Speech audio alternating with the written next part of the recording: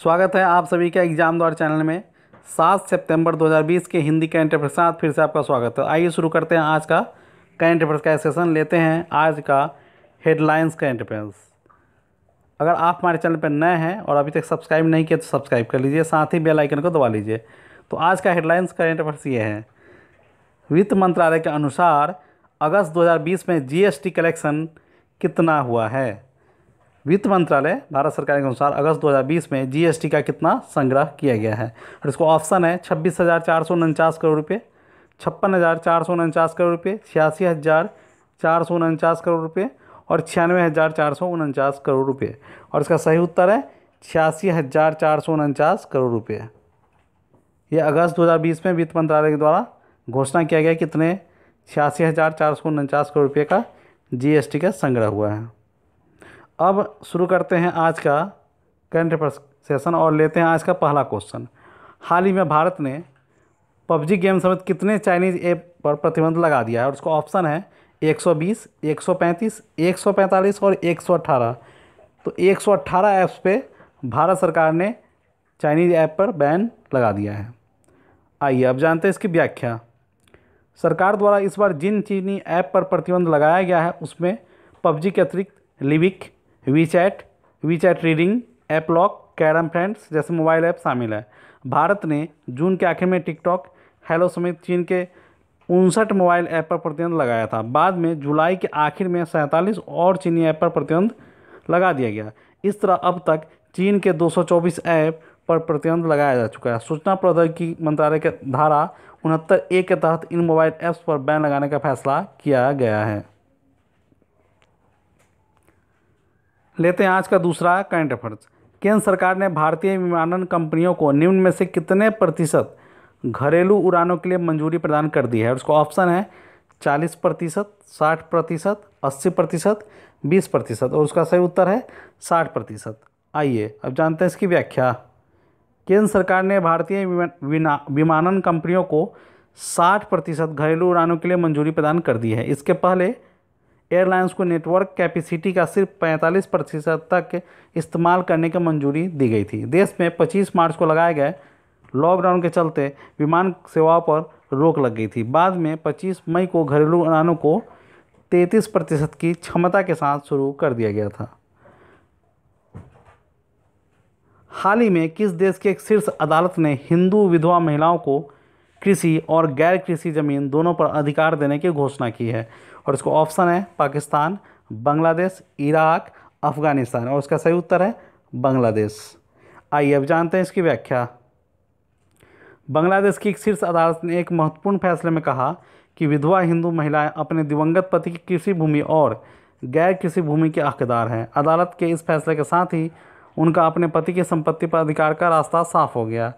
उन्हें अपने जीवन काल में उस संपत्ति को बेचने का भी अधिकार होगा। बढ़ते आज के चौथे कंट्रफर्स की तरफ़।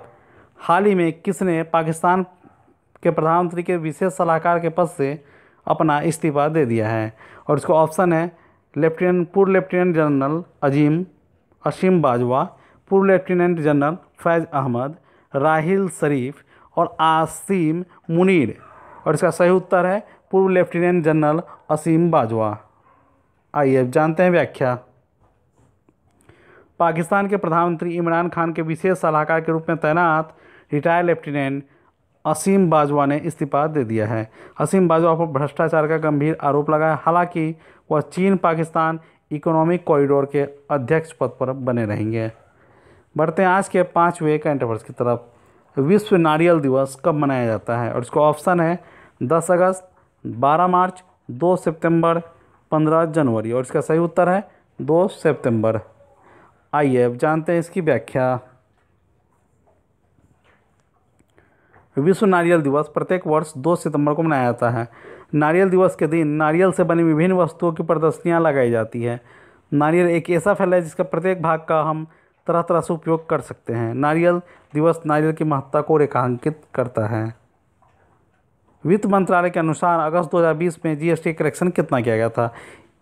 और ये हेडलाइंस क्वेश्चन में था, इसलिए इसका सही उत्तर है, छियासी हज़ार चार सौ उनचास करोड़ रुपए। आइए अब जानते हैं इसकी व्याख्या। वित्त मंत्रालय ने कहा कि सकल माल एवं सेवा कर जीएसटी संग्रह अगस्त महीने में छियासी हज़ार चार सौ उनचास करोड़ रुपये रहा। यह लगातार दूसरा महीना है जब जीएसटी संग्रह कम हुआ है। इससे पहले जुलाई में यह सतासी हज़ार चार सौ बाईस रुपये था। सालाना आधार पर जीएसटी संग्रह बारह प्रतिशत कम रहा।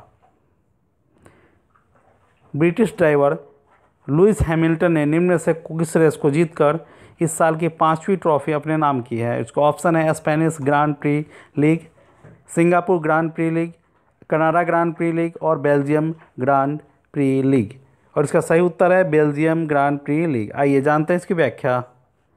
लुइस हैमिल्टन ने शुरू से आखिर तक बता बनाकर 30 अगस्त 2020 को यहाँ बेल्जियम ग्रांड प्री लीग जीती, जो उसके करियर का नवासीवा खिताब है। हैमिल्टन की सात रेस में यह पाँचवीं जीत है और चैंपियनशिप में उन बोटास पर सैंतालीस अंक की बढ़त बना ली।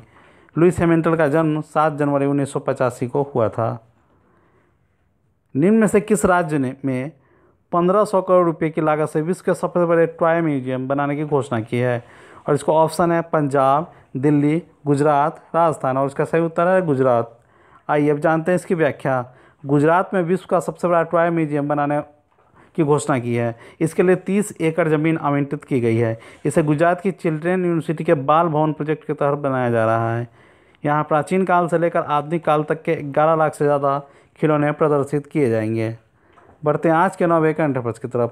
किस देश के सलामी बल्लेबाज निषाद थरांगा परनविताना ने अंतर्राष्ट्रीय क्रिकेट के सभी प्रारूपों से संन्यास की घोषणा कर दी है? और इसका ऑप्शन है ऑस्ट्रेलिया, इंग्लैंड, श्रीलंका, बांग्लादेश। और इसका सही उत्तर है श्रीलंका। अब आइए जानते हैं इसकी व्याख्या। श्रीलंका के सलामी बल्लेबाज निषाद थरांगा ने अंतर्राष्ट्रीय क्रिकेट के सभी प्रारूपों से संन्यास की घोषणा कर दी है। उनने 32 टेस्ट मैचों में श्रीलंका का प्रतिनिधित्व किया। इस, इन्होंने, उन्होंने इसमें दो शतक और 11 अर्शतक सहित सत्रह सौ बानवे रन बनाए हैं। देखते हैं आज का दसवां और अंतिम का अफेयर्स राष्ट्रीय खेल दिवस निम्न में से किस दिन मनाया जाता है? और इसका ऑप्शन है उनतीस अगस्त, पंद्रह मार्च, दस जनवरी और बारह जून। और इसका सही उत्तर है उनतीस अगस्त। आइए, अब जानते हैं इसकी व्याख्या। हर साल उनतीस अगस्त को भारत में राष्ट्रीय खेल दिवस के रूप में मनाया जाता है।